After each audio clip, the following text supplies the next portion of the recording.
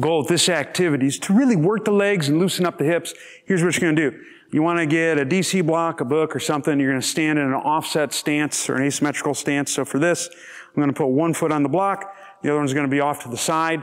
I'm going to be about hip width apart though on this. And I'm going to hold that position. I'm going to toss the weight up so it's in a goblet position, depending on what you're going for. If you want a little bit of an upper back stretch, you're going to keep the goblet at uh, about chest height. If you need more front of the chest, I'm going to raise up like I'm Josh Groban. Soft knees, you're going to reach the elbows forward. Exhale to start. Inhale, push the knees forward, drop straight down. Exhale back up. Rinse and repeat. Don't lock out at the top.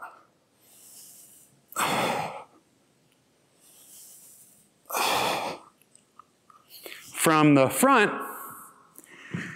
just want to make you aware, you want to keep your knees pushing straight forward on this. Reach back, very soft tuck.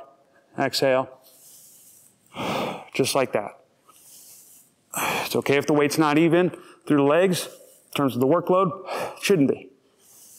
And that's how it's done. Give it a shot.